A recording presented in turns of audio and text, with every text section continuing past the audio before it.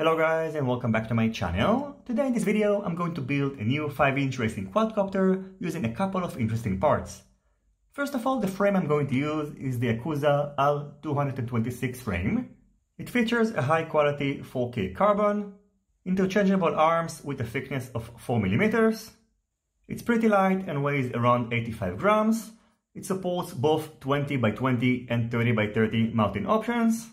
And finally, it's a hybrid frame, so you can change the position of the arms. Currently, it is configured as a True X quadcopter, but if you'd like, you can simply remove this screw over here, and then use the third hole in order to switch between a Stretch X and a Squish X design. The next interesting part that I'm going to use is the Asgard 32 F7 flight controller. It features a built-in 4-in-1 BLA32 35A ESC, it can support up to 6 S-like batteries and it features 5 free UART ports. Using this flight controller is going to make your build pretty simple, however the downside of course is that if one component goes wrong, you will need to change the ESC and the flight controller. The flight controller came pre-flashed with Betaflight 3.40 and in order to update it, you will need to enter DFU mode and it's done by shorting these two pads over here and connecting the flight controller to your computer. The weight of the Asgard 32 flight controller slash ESC is 20.1 grams and its dimensions are 4.4 by 56.6 by 47.3 millimeters. The next non-standard component that I'm going to use is the Underground FPV Kamikaze Team AK-47 motors. The unique feature of these motors is that instead of being secured by four screws on the bottom or three like normal motors, these motors are secured using a single nut on the bottom, so changing these motors should be pretty easy. So basically what you need to do is to mount these motors in this manner, and then just use this single thread on the bottom in order to secure it. Now in case the arms that you're going to use have four mounting holes, there's not going to be an issue. So you can see you can mount this motor in this way, and if you're going to use the other arm, you can still see that it fits. However, when using arms that only have three holes for mounting the motors, it can be an issue. So over here, the motor fits without any issues. But when mounting it on the other arm, you have to make sure that it's going to fit. And what I had to do is to carve the carbon over here in order to make it fit because before it just didn't work. So you have to take it into consideration. And I'm also going to talk to Underground FPV and I suggest selling these motors with another mounting options, so instead of having these two parts over here, they should be placed on the opposite direction. In terms of specs, these are 2207 motors, and you can get them in two kV options. The one I have is the 2647 kV version, which is compatible with 4S type of batteries, and in addition, you can also get a 1747 kV version, which is compatible with 6S type of batteries. The weight of the motor is 37.9 grams, and it is using 11 centimeters long, 20 AWG silicon wires. As for the other components, in this build I'm going to use the Rush Tank Ultimate VTX, the Caddx Turbo SDR2 FPV camera, and a TBS Crossfire nano receiver. The next thing I'm going to do is to assemble all the parts together, then configure the quadcopter and head outdoors to test it out. I hope you will enjoy the rest of this video and I will see you in the end of it in order to give you my conclusion.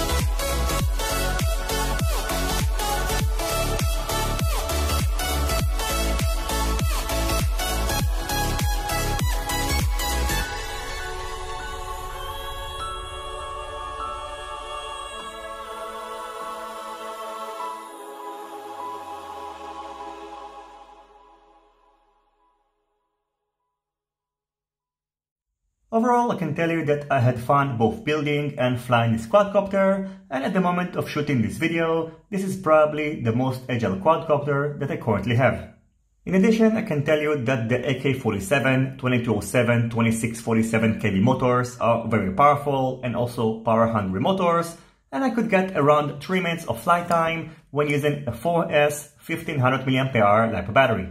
The only complaint I have regarding these motors is that they made this specific build a little bit difficult and I had to carve the carbon in order to make them fit, and also, while assembling two of the motors, the screw that is securing them was broken, and luckily you get in an extra screw along with each motor, but overall I think that the standard way of securing motors is a better one, and I do hope that Underground FPV are going to offer these motors with a standard mounting option, because these are great motors, they perform well, and they're also not very expensive.